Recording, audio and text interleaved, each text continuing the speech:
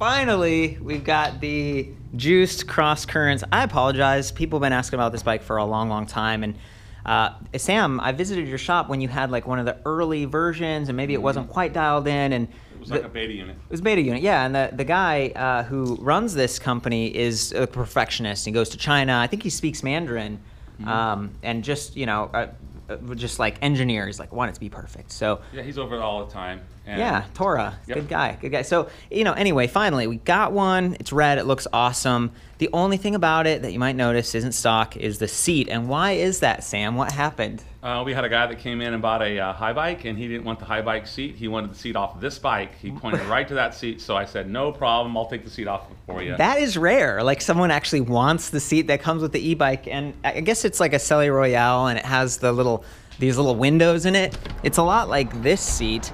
See, you got the windows. This one's just wider, so they have a more active version that comes on the Juice Cross Current. This is a very active bike.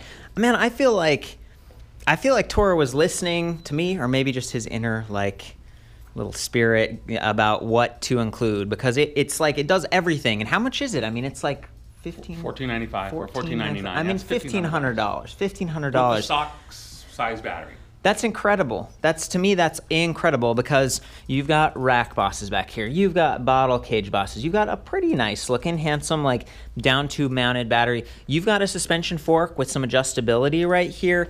It's, it's a speed pedelec. This thing goes above 20 miles per hour, but unfortunately, maybe not much above. I mean, it, it's they say like 28 mile per hour, but it's, you got to be pedaling pretty hard. Yeah, I, I cruise it uh, between 20 and 25 is what, as, and I'm not, uh, you know, a Superman by any means, but with the uh, system that's in place, it rewards you the harder you pedal it. yeah. And I'm only going to pedal a certain amount, you know, as far as Right. The torque that I'm putting out with my legs. It uses a torque sensor, TMM4. That's what they use on the easy motion bikes and stuff. So you do have to exert yourself a little bit more, but it's really fluid, right? Yes. And you do have quite a few levels of assist here. So you kind of got like the eco super low, and then you can arrow up to one, two, or three. And then tell me about that So boost from, from any position, let's say you're like cruising along on level two assist, you can hit the boost button and it'll go straight over, and then you hit it again and it'll go back to where you left off. So That's I could sweet. be on level one and go straight over to boost, or I could be on level three and go to boost and come back. So it's like a, it's like a turbo override when you get to that hill or you see your friend that you want to catch up with. And they also offer a throttle option, right? Correct. That's an aftermarket accessory you can purchase separately to, Mm-hmm. to install on the bike. Yeah. And um, you know, for people, what, sometimes it's nice to have a throttle. We don't have that on this one, but we do have. Uh, what size is this? You said this is the XL. yeah, it comes in three sizes. You get a medium, a large, or an extra large in either black or red. Yeah, I mean that's pretty awesome. So you get different sizes and everything. Uh, you know, and coming back to the suspension fork, we're not talking about a lot of trouble, but enough that it makes it comfortable. Promax riser bars, enough that it brings it back a little bit. A saddle that makes you feel pretty good. That's awesome. And the tires, these are 700 by 45C, 28 by 1.5, uh, one and five eighths inch. I, they're pretty thick, is what I'm trying to say. That the diameter here is bigger than normal. It's not like a road bike tire that's super narrow that doesn't feel good. Um, so that's like you know three things right there that are designed to make it four things: suspension, riser, uh, seat, and then the, the tires. So they they did more than just like cheap bike that goes fast. They actually really scrutinized the decisions that they made, and you can see that there's a much larger chain ring up front, and that's designed to help you hit and maintain those higher top speeds um, because it does only have one chain ring. And then in the back, we've got Shimano Alivio component group, decent, decent derailleur, nine speeds. So you really have a lot of choices right here, whether you're climbing with this thing or trying to go up a hill and you need to shift down. Tektro Dorado hydraulic disc brakes, 180 millimeter rotors, and you need that for stopping when you're going fast too, which is nice. No quick release in the rear, but you do get quick release up front, and I find that that's nice if you're someone who was trying to toss this into your car. I turn my handlebar sideways, take off the wheel, and then it lays really flat. It's really nice that way. Other things that I really like is the Wellgo pedals. Check that out.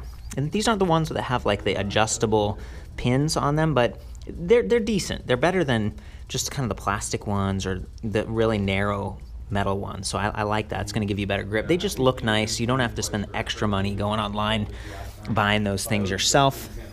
And we come over to the other side, and it does come with a kickstand. That's something that a lot of electric bikes kind of forego, surprisingly. and it does have a kickstand mount, so you could get a different one if you wanted. This one's a little bit shorter, and I heard something about like a boot kind of coming off the bottom occasionally. Um, so I love that they did that. Schrader valves. We've got the nipples like actually on the rim. That's another little little upgrade. What were you saying about the kickstand, Sam? Uh, comes with a boot, but uh, he actually gave you a spare boot, and I've lost both boots on this because they crack. And this is Tora's first try at, at building a, red, a road bike, actually. Hmm. Uh, something else I want to point out on this bike that we've seen as an, an issue Uh-huh. for a few of them are the spokes on the back.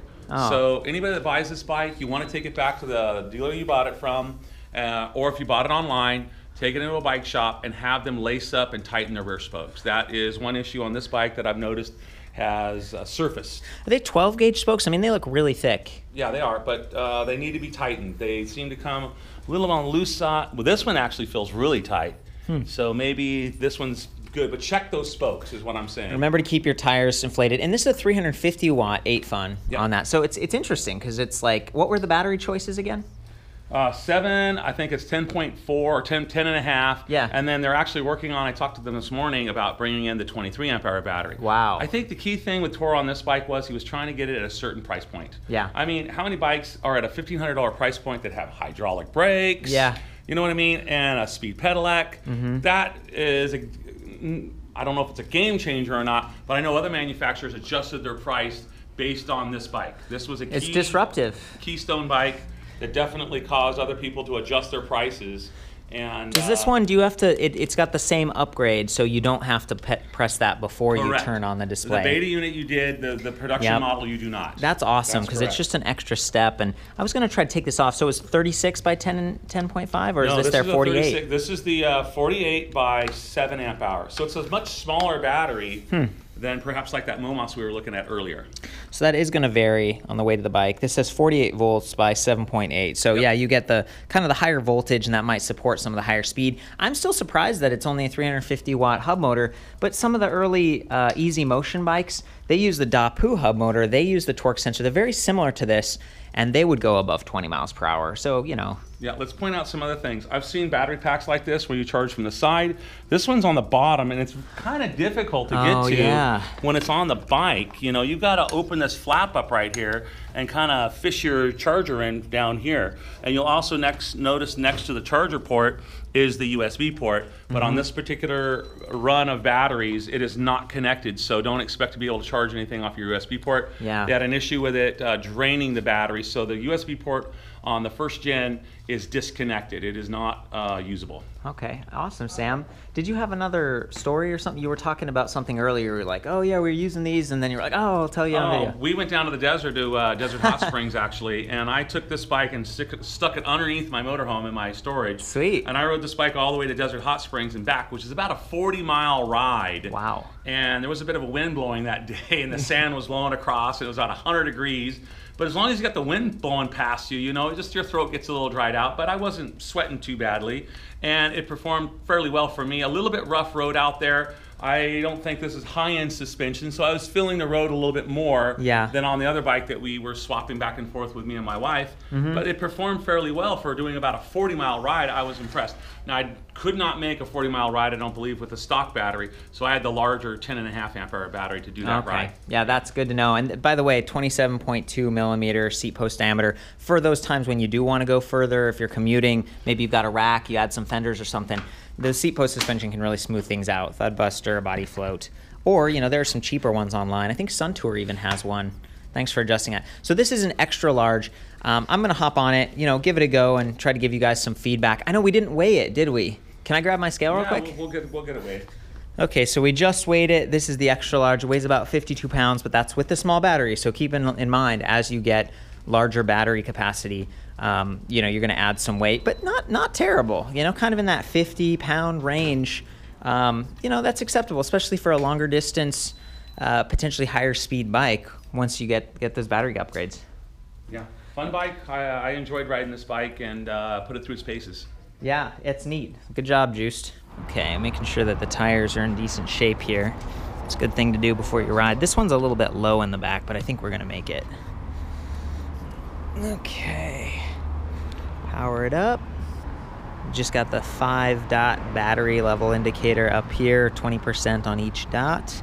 Um, I might start out in eco, just see if I can even feel anything.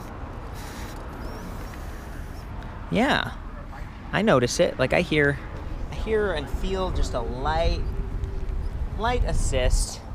Uh, one of the drawbacks about using LED is that, you know, th- there's no speed readout here. It's just you're just kind of estimating, and that's part of why it's like, well, am I really going fast? I, I don't know if that was a conscious decision. It's probably a cost-saving decision, um, but let's let's take it up a little bit. Take it all the way up to three. Okay, I'm feeling definitely feeling it. Really quiet.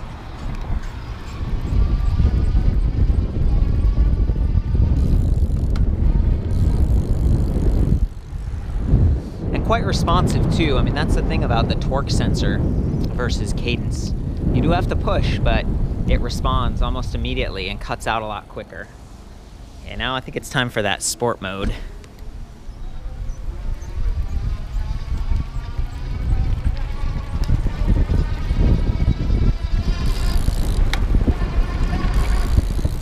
It's really riding smoothly. I mean, I can tell a difference. I don't know if it's the rear hub, uh, maybe it's the the derailleur and stuff is actually just smooth. The bike the bike's really tuned up right. Um, come to appreciate that when you try some of the cheaper bikes. A lot of bikes in this price range. While I was riding, I wanted to point out that this does have Velo locking grips. A lot of the touch points are just you know kind of branded, upgraded. Neco Neco stem, Neco headset. You know, am I like super super thrilled and like oh my gosh like it's a speed pedal like wow uh, no no i'm not it doesn't feel it doesn't feel like amazing power you know of course i don't have a, a throttle but i think they geared it to be a little bit more smooth gentle versus like power right from right from get-go just to make it last a little bit longer to extend that range it seems like it's geared for like weaker high speed than powerful, torquey, low speed. And that's what you want for a speed pedelec. But we are working with that 350 watt motor down here. Yeah, and you can see there's like kind of a stamp on there. BFSWX02, 48 volt, 350 watt. So, uh, you know, I'm still happy with the bike, and it's it's kind of neat that you can get a bike relatively affordably that that looks nice, that's balanced, that's got that open triangle, so you can actually put this on the back of your car and take it around that way. It, it blends in like it's it's a nice bike, and I don't want to complain too much just because the price is low. But if this was a higher price bike and I was comparing it to like a specialized turbo or a Stromer or something like that, where you really feel like, oh man, this is fast. It doesn't it doesn't deliver that kind of experience. Um, and again, it's a gearless or this is a geared hub versus gearless, so there's no regenerative braking or any of that that other fancy stuff, but it keeps it light. At 52 pounds we were talking about. And I think it's smart of them to do kind of the price tiering where it's like $1,500, but that's with the smallest battery and no throttle and stuff, and maybe you don't need those things, so maybe that's fine.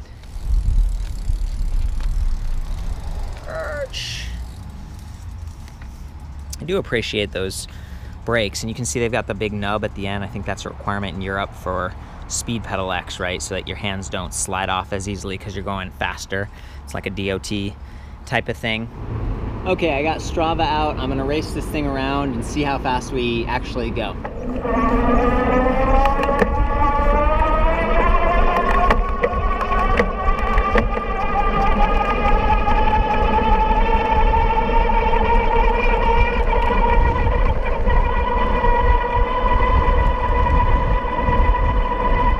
Okay, just finished.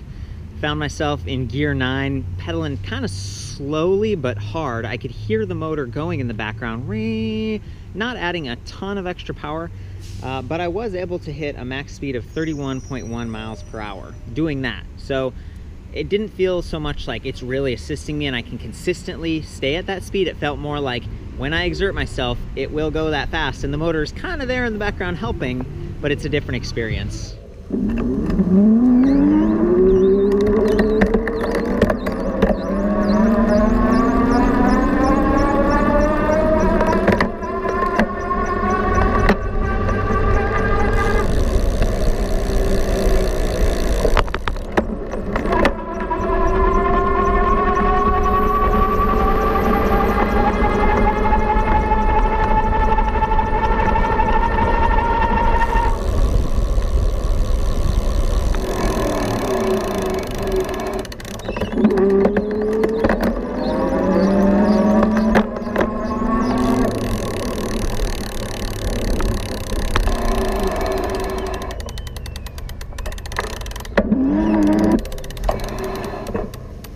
Okay, now on that ride, I actually just pretended I was on any other bike, pedaled when in a way that felt comfortable to me, at kind of a higher cadence, and I wasn't standing up or anything. I used Strava again, and that time I got 27.7 miles per hour. So, yeah, it's a speed pedelec. It works. Uh, maybe it just takes a little bit longer, and it doesn't quite have that like torque that uh, I've come to just sort of expect, maybe, or just you know, it's it's a lighter when that happens. You're like, whoa, this thing's fast, but that doesn't mean that this is bad in any way. And I think given the price point and the fact that it does go well above 20 miles per hour, that would significantly improve your commute time. You know, it's that's kind of what they're going for here. So that's awesome. Well, I finished the test ride. I'm back here at the shop, uh, just recording some of the details and prepping the write up. Uh, thinking about all the other bikes that I've reviewed over the years, and these are ones that are getting repaired and stuff in the back. Uh, and I just wanted to say, you know, this this has delighted me. Like the cross current, it was a little bit questionable at first because I was like, huh, you know, 350 watt motor and how hard do you have to work? And if you just if this was just a 20 mile per hour electric bike with all these great features for 1500 bucks, I mean that would still be ahead of a lot of the competition. You know, maybe the battery's a little bit on the small size, the, the stock one, but the fact that they've opened it up and let it go faster and then just added so many little little extra features, some of those delighters, things that I call out on other bikes. I mean, there's really a lot to appreciate with this bike. I can understand um, why people were so excited about it and you know interested in getting a review. I can see why it's kind of sold out. I love that it comes in those multiple sizes, and you know I just kind of wanted to like take that second approach, like let it sink in a little bit, and be like, yeah, it does achieve those higher speeds. Maybe in part because I'm 135 pounds. Sam is like, you know, 250 or something like that. Like quite a bit heavier than me. You know, he maintains that he was only getting it up maybe like the 25, 24, 25. Um, I don't know if he did Strava the way I did and everything. I try to be uh, you know, objective, data driven, right? So I was doing doing that for you guys. I, I hope it, um, you know, hope it gives you an accurate picture. I think they've made the compromises that they've had to to keep that price low, and, and I like what they've come out with. So anyway, I just wanted to break it down real quick before closing out. Um, remind you that I've got the full written review back at electricbikereview.com. Chime in with those comments and thoughts you might have. And of course, especially with the Speed Pedelec, ride safe.